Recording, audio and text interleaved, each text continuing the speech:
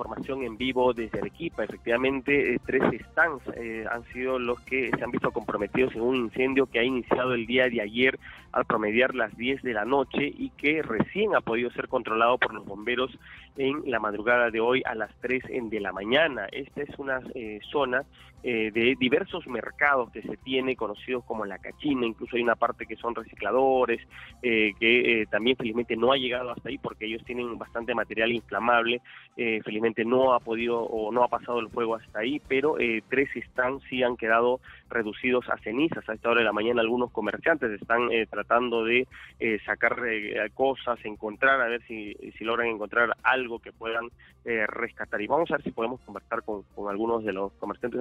Niñito, usted es comerciante acá. no es opinar, no se preocupe, no se preocupe, señora. Ah, muy bien, a ver, vamos a ver si conversamos acá, Manuel. Acá. Disculpe usted, solidarizándose con, con los demás socios del mercado que se ha quemado lamentablemente el día de ayer.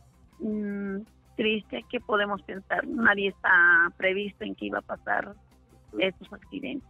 Es lo que puedo decir.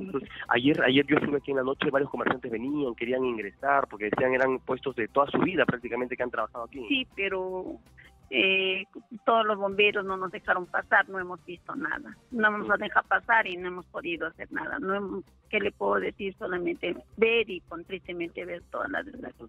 Van a tratar de limpiar, veo que algunos están tratando de sacar algunas cosas, a ver si encuentran algo que pueda rescatarte de la mercadería. Es lo único que queda.